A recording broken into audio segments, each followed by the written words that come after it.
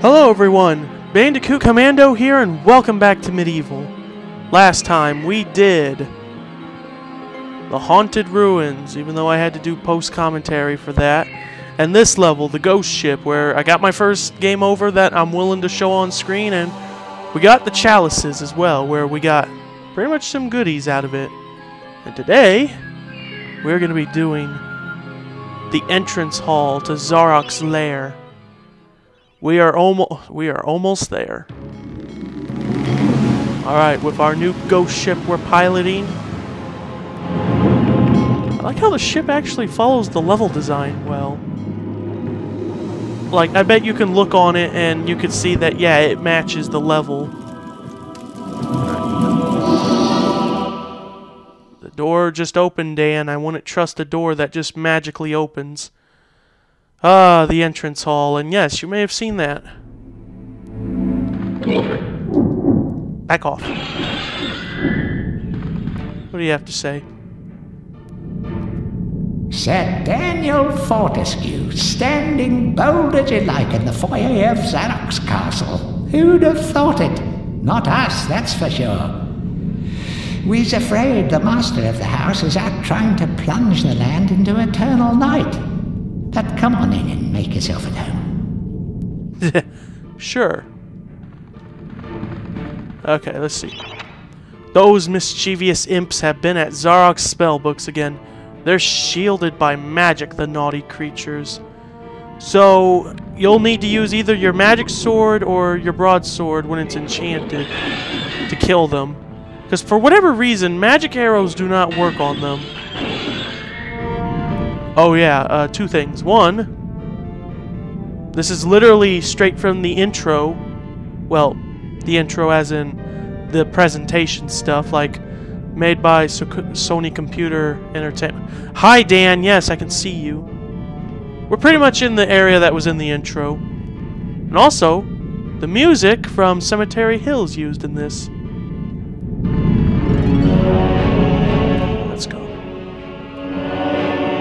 Okay, um... I would want to go right. Be careful, because, uh... I've had this happen not once during my first playthrough, but twice, because I'll admit I have to re-record this. But, uh... Wait. Okay, um... Is this... Uh, uh-uh, uh-uh, no, I'm not going that way. I'm savvy enough to go not to start over there just yet. You know, actually... No, no, not yet. See, I have an idea, but I do not want to put my idea into use yet. Die. Okay. I need to be as cautious as possible.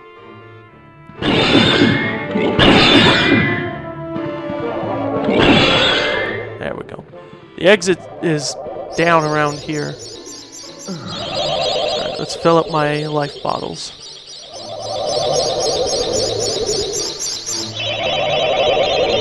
Oh, so how we all doing? Me personally, I don't know how to put it. After everything I ranted about in the previous video, you, you probably understand how things are. Okay. There's a merchant gargoyle if you need it. Okay. Speaking of which, let me let me speak to you. Do I need any projectiles? Oh, yes, I do. No spears. Okay. Ooh, this is nicely decorated. Back off.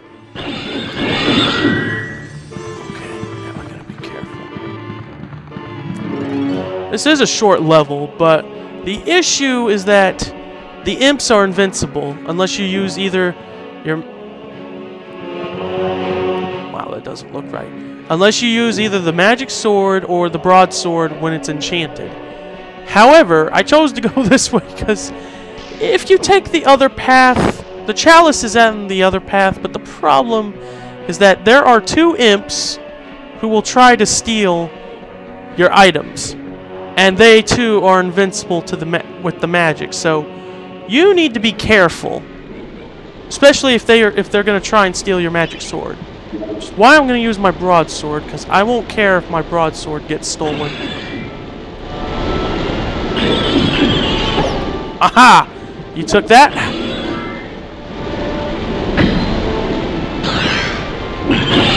That's what you get for trying to steal my things, you little bastard.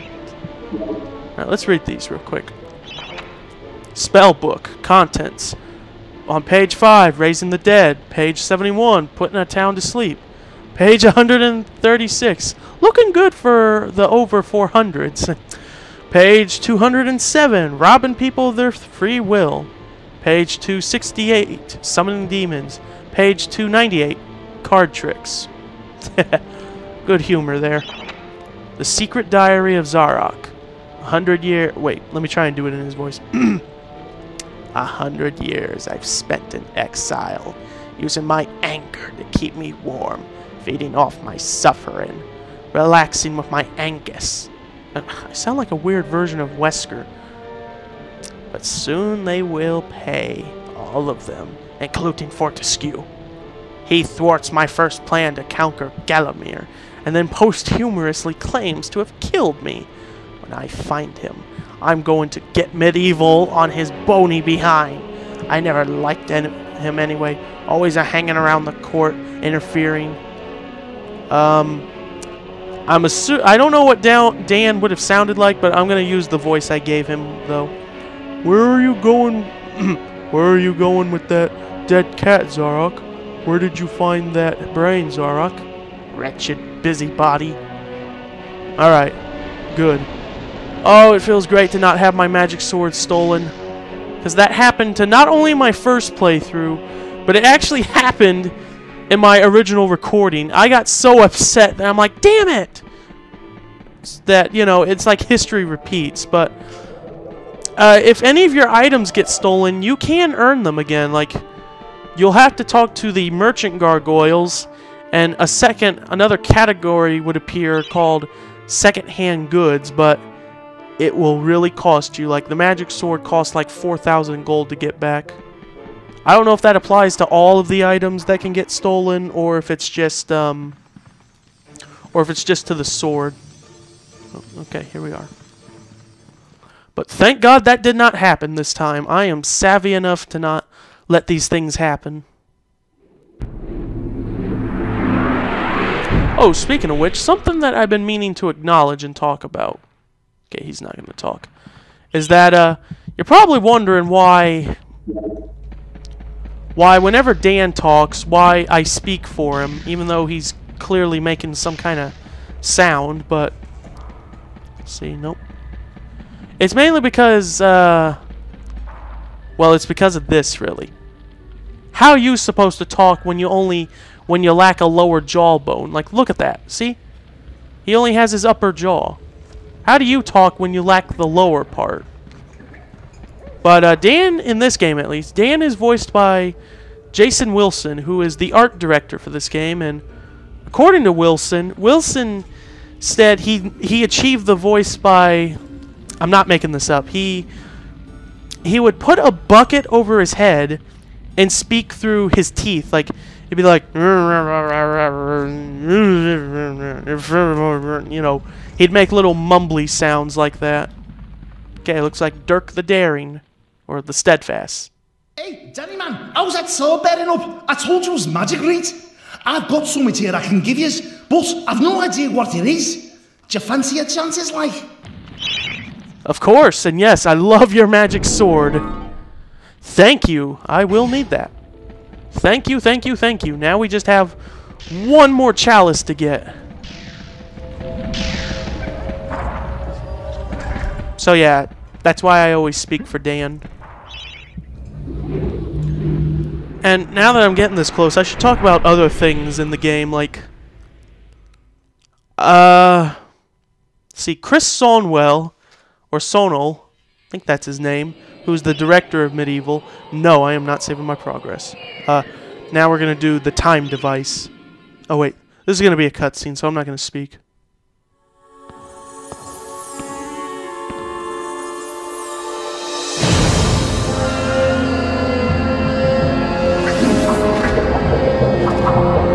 That's why you shouldn't touch any strange things, Dan. Whoa.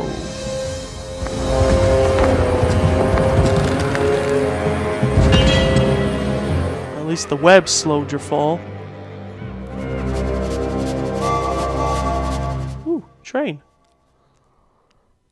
Alright, here we are, the time device. This level isn't too long either, but it is a little tricky. Anyway, I was saying, Chris had the idea of MediEvil since when he was, uh...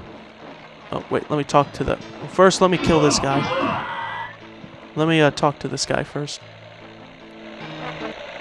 Using a dark magic called science, Zarok has constructed a device based around the mechanical measurement of time.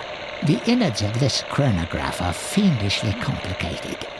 Keep your eye on the flying timepieces and get ready to reset the hands of the master time clock. Alright, thank you. Yeah, dark magic known as science. You hear that, Andriana? Science is a dark magic. Can you kill these things? I don't know if you can kill these things or not. No, probably not. Science is a dark magic, Andriana. And you love science, you say. Why do you worship a dark magic? Alright, I'll stop teasing. Uh-oh. Oh, I thought I screwed up my jump there. Oh, oh, oh, oh they hurt. Oh, oh. Ooh, I'm dancing with death there.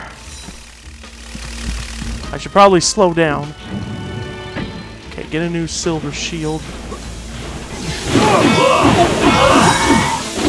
Whoa, I decapitated him. I noticed his head. Wow. This game was rated T back then, but the remake is like rated E or something. Or rated E10. Okay, now... Nope.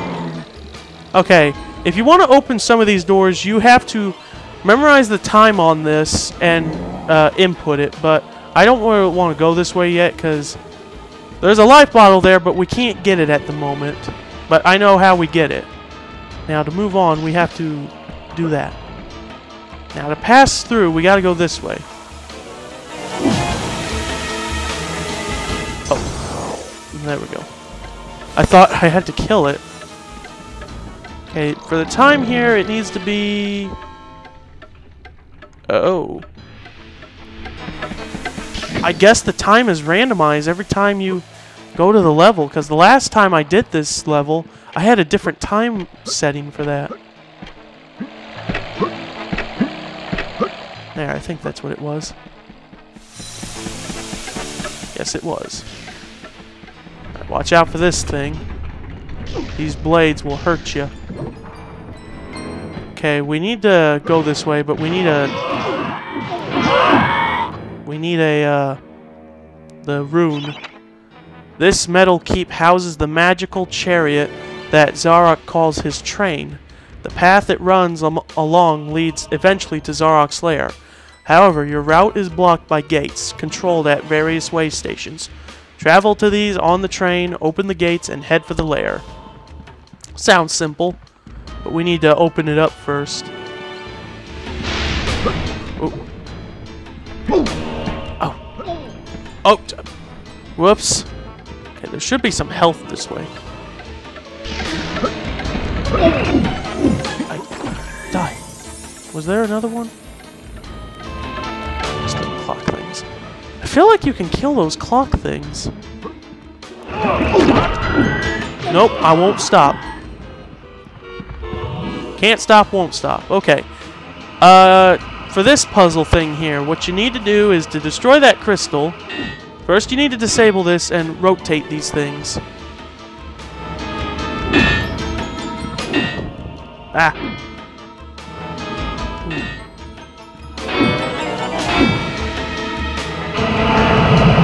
There we go. We can get the chalice, but more importantly, it disables the uh, the energy. So now I can go over there and get the uh, the earth rune, for instance. Oops. I think there's a there's a fountain in this level, so I'll be fine. Okay. Well, you don't have to jump for these pipes. You can just jump down here. Okay, so with the rune, I need to go back some. I'm just making sure my recording's okay.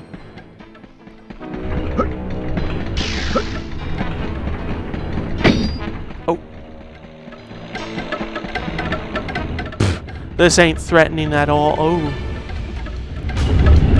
Okay, that, on the other hand, looks threatening.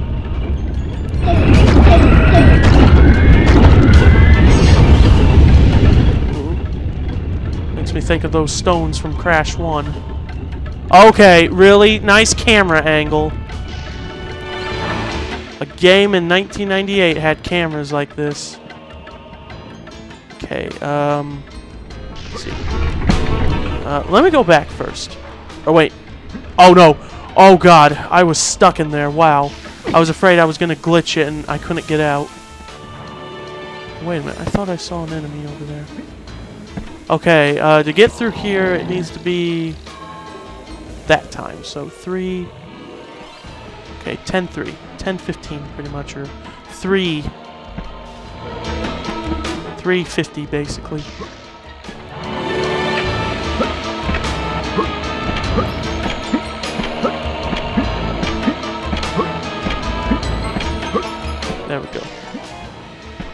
Okay, let's get that uh, life bottle.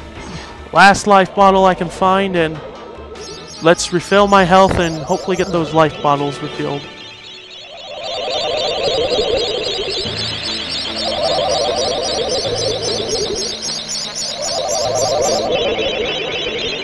Come on, refill my last one. I need it to be at the fullest for the final level.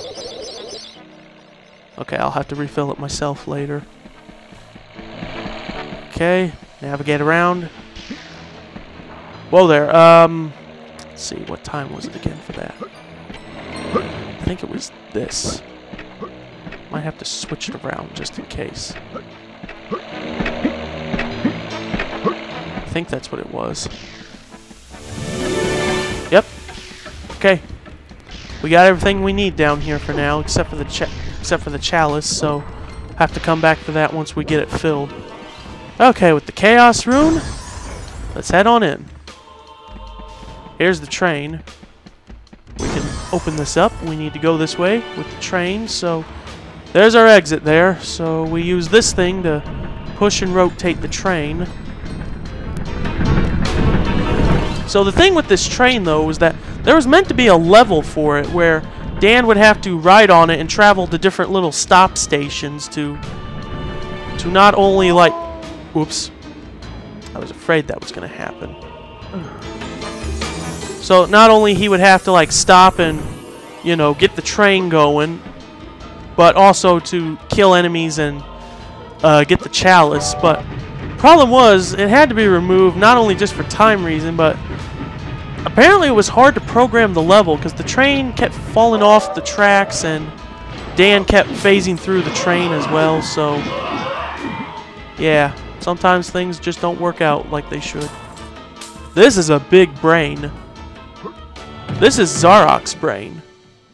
Except this is Zarok's brain, but the one in his body isn't his brain. Whoops. Okay, this can be a little tricky. There we go. Nope, I won't stop.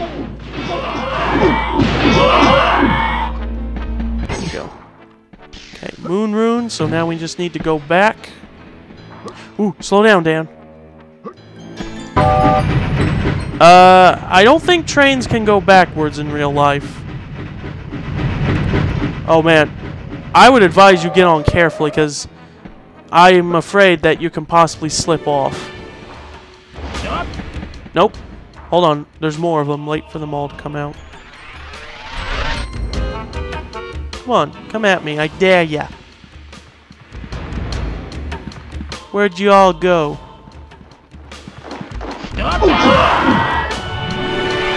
Where are ya? I dare ya. There's there should be like three or four. Stop. Nope.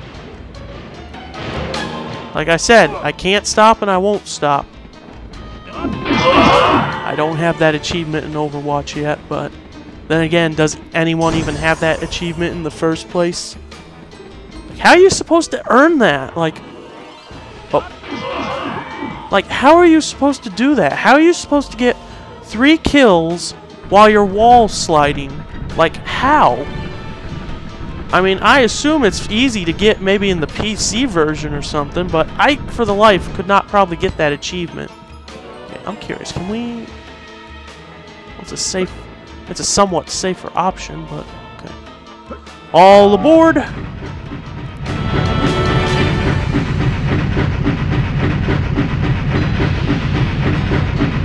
Alright, this is it. So there's two switches here that we need to hit to open up the gate to our freedom. There's another fountain, so... There we go. Now I can get the chalice, so... Let me kill all these guys first.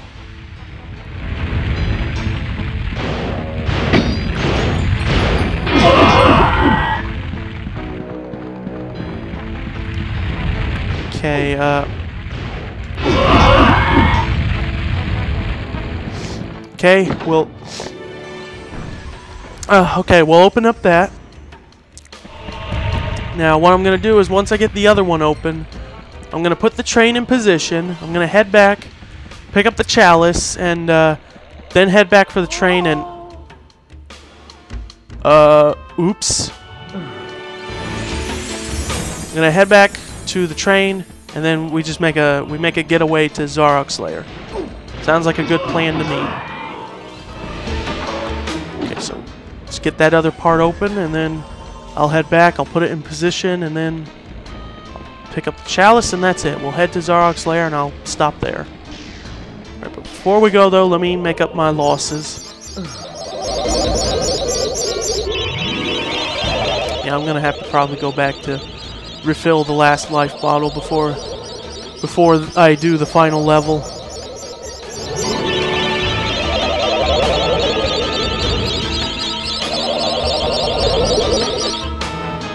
Okay, well, I'll have to go back and finish filling these up. So, all aboard, Conductor Dan! Oh, I hope you don't slide off. It looks like he can slide off of the train. That was probably the issue, is that Dan would slide off. It looks like he can slide off.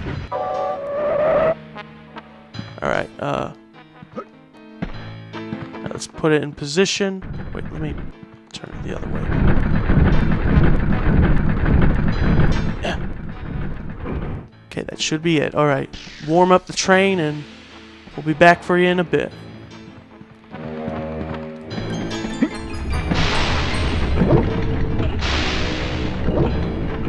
Run, Dan. I slid. Alright, well, now I have to go back to that level twice to refill the bottles or Alright, actually, before I pick up the chalice, uh, let me get on here, and I don't need the treasure, but I'm just going to pick it up because...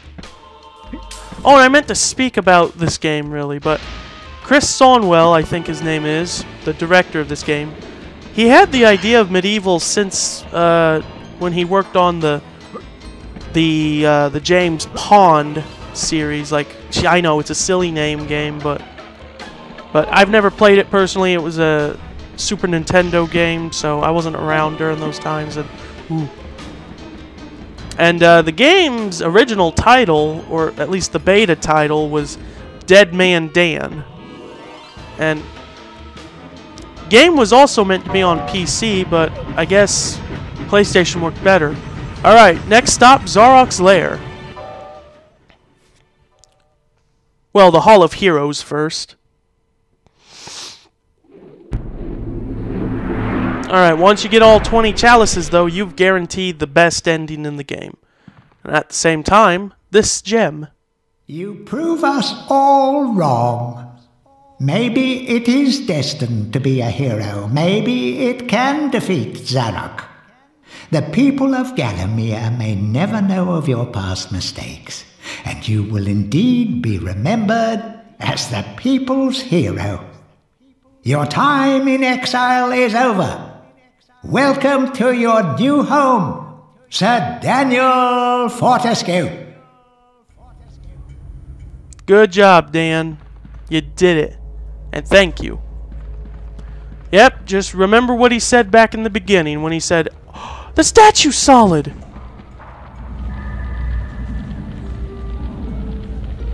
I can't believe the statue. Like, I had a feeling that the statue would turn solid eventually, but wow. I've never actually noticed it being solid. Like Dan said at the beginning, I'll show you. Or, no, I'll show you. All hail the mighty chalice of souls. Thank you for giving me my rightful place. There's only one person to talk to. And that's you. Daniel, thank goodness you're still safe. I have a gift I can give to you, but sadly, I can't say how useful you will find it. Oh, it's alright. It will help. Yeah, three energy vials. You pretty much solved my problem. I still need to fill up that last one because it's not completely full, but I did it. I did it. And now this is where I will get to end the episode.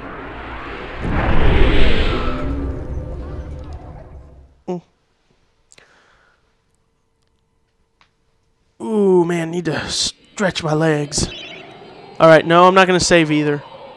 That will do for this episode of MediEvil. Join me next time as we do Zarok's lair, confront him, and beat the game pretty much. So, that is it, and I will see you guys next time.